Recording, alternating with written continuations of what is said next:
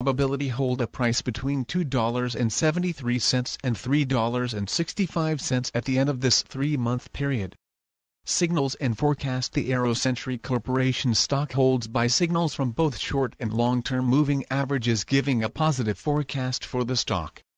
Also, there is a general buy signal from the relation between the two signals where the short-term average is above the long-term average.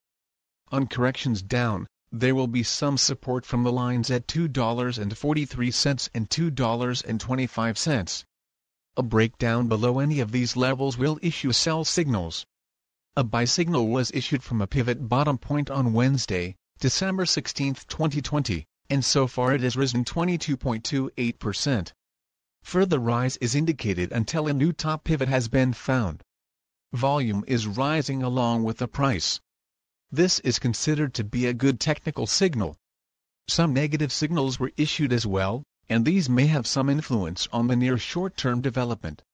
Furthermore, there is currently a sell signal from the 3 months moving average convergence divergence MACD.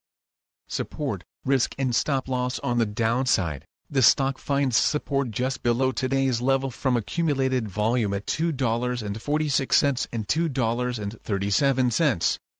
There is natural risk involved when a stock is testing a support level, since if this is broken, the stock then may fall to the next support level.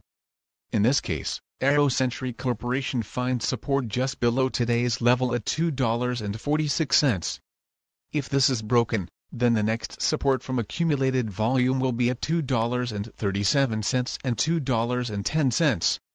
$2.46 $2.69 This stock has average movements during a day and with good trading volume, the risk is considered to be medium. During the last day, the stock moved 78 cents between high and low, or 32.77%. For the last week, the stock has had a daily average volatility of 15.48%. Our recommended stop loss, $2.58 minus 3.98% This stock has medium daily movements and this gives medium risk. There is a buy signal from a pivot bottom found six days ago. Is AeroCentury Corporation stock a buy? AeroCentury Corporation holds several positive signals and is within a strong rising trend. As the old saying says, let the trend be your friend.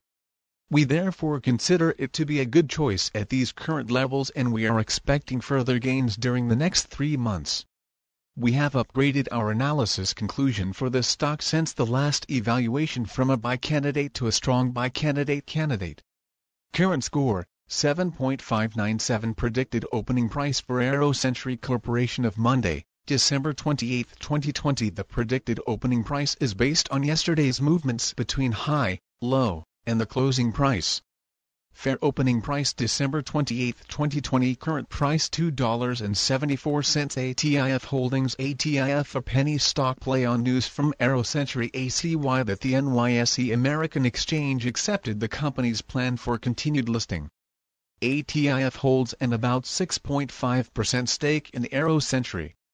AeroCentury shares were up 150% Monday morning.